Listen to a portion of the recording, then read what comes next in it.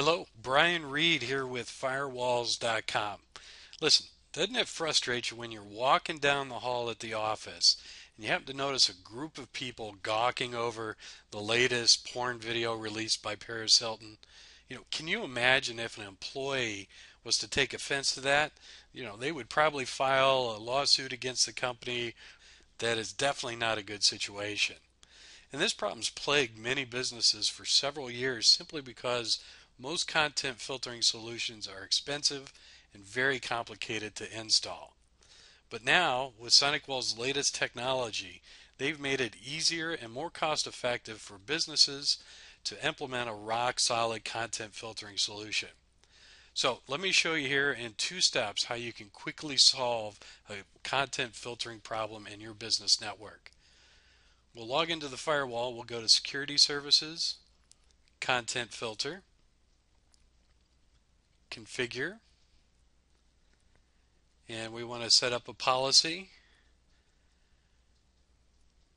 And as you can see here's all the different categories that we can select with the SonicWall content filtering. Uh, there's several of them all the way up to 63 of them. But in this case we want to stop the the pornography and get rid of the Paris Hilton video. So we're going to select pornography. We're just going to say okay that's the first step now that we've got that out of the way, we need to tell the SonicWall to apply this content filtering uh, to all of our network users. And we're going to go in and configure that for our network interface. We're going to say enforce the content filtering service. Select OK. That's the second step. You are now done.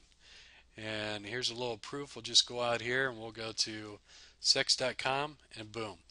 SonicWall automatically blocks that website. Even better, it has great logging features so that you can see who's been going to the websites, what websites they're trying to go to. Plus, you can build groups and exclude certain users or uh, include different users or groups.